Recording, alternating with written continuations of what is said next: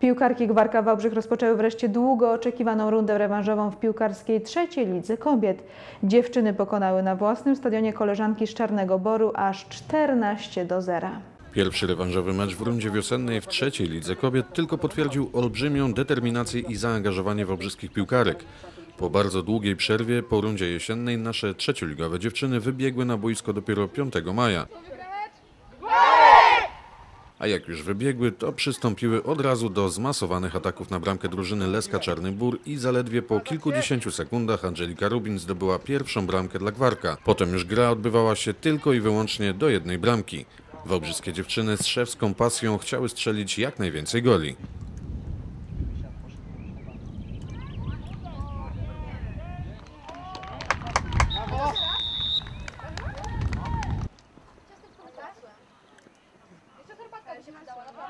Idziesz to? Weźcie tak, z pestką.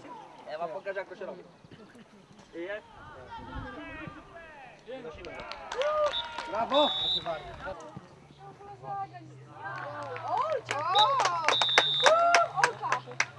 Replay. Choć gra zespołowa Gwarka w pierwszej części meczu dawała wiele do życzenia, to piłkarki zdobyły w tej części aż 7 bramek i na przerwę schodziły z ogromną bramkową przewagą. przeciwnik, no, przeciwnik nie był najwyższej, najwyższej rangi, więc no, też gra nie była na najwyższym poziomie. Ciężko się gra z takimi zawodniczkami, ponieważ no, one tak jakby no, nie, nie, mają, nie mają takiego czucia piłki jak my, więc e, wszy, dużo rzeczy robią, dużo rzeczy robią e, po prostu no, e, asekuracyjnie. Mecze z słabszymi drużynami, w które y, jedynie wykopują piłkę jest ogólnie dość ciężki. Nie da się wypracować żadnych akcji. Po prostu dużo ciężej się gra niż normalnym. Normalnym, jeżeli przeciwnik jest lepszy, tak jak na przykład było we Wrocławiu, narzucają swój tor gry i my w pewnym sensie się dostosowujemy. Musimy bardziej grać piłką, a tutaj no gra była beznadziejna, ale udało się kilka akcji fajnych zrobić.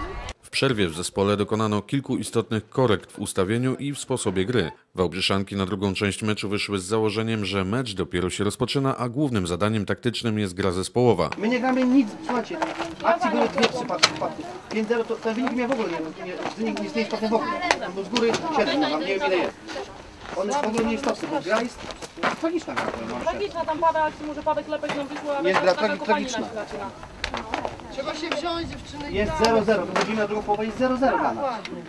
Piłkarki Gwarka do serca wzięły sobie uwagi i ustalenia z przerwy i mecz wyglądał zupełnie w drugiej połowie inaczej. Pojawiły się składne akcje, długie zagrania na skrzydła, a także gole.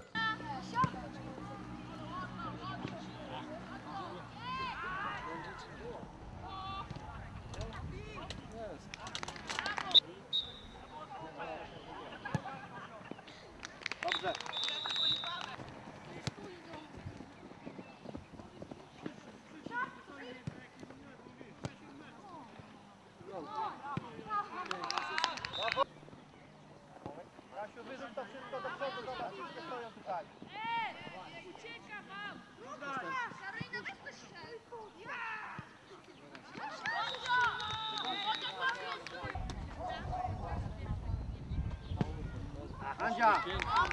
Andzia! Pierwsza akcja wreszcie. Andzia przeszła w każdym razie z dwie zawodniczki jakoś tak udało jej się ominąć, co tutaj też było dość ciężkie, bo one zbyt blisko siebie stały i uderzyła z daleka.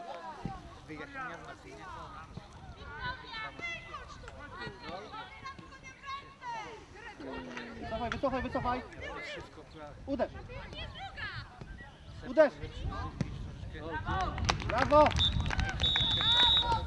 Wyłożenie piłki i Emilia Dolata strzela bramkę z około 16 metrów.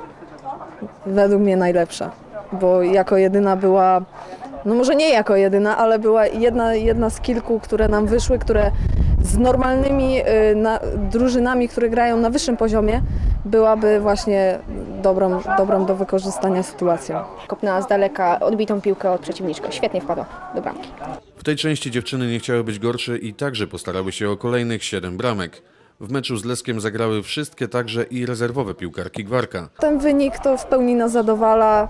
Myślę, że to też dobry, dobry początek do rozpoczęcia rundy.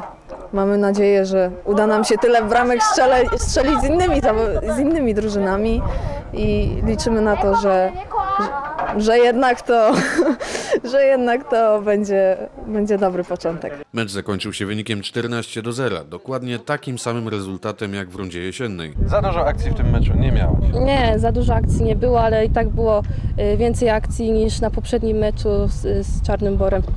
Teraz prawie trzy tygodnie piłkarki będą pauzować, mając czas na jak najlepsze przygotowanie się do meczu rewanżowego ze Szczytem Boguszów, który bezpośrednio zdecyduje o awansie do drugiej ligi. Na pewno będzie dużo lepiej się grało po tym zmianie niż Czarnym Borem, że będzie się lepiej grało, lepsza będzie gra, nie będzie takiej kopaniny, ale myślę, że jednak każda z nas bierze bardzo do siebie ten mecz, bardziej się na, bardzo się na niego szykuje.